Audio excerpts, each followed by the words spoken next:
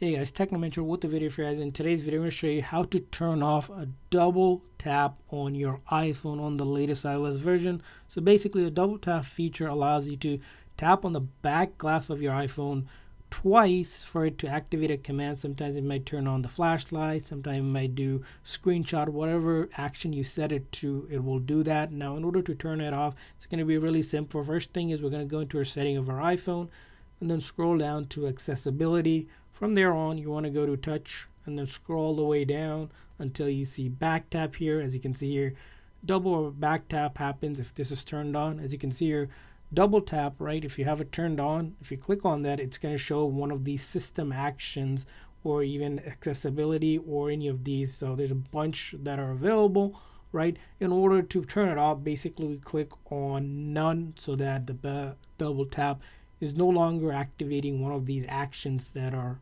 available here on the iPhone and should be saying none here. And that's how you turn off double tap on your iPhone on the, on the latest version of the iOS. And I hope this video was helpful. So please consider that like and subscribe button for more tips and tricks for your iPhone and other iOS devices. See you guys next time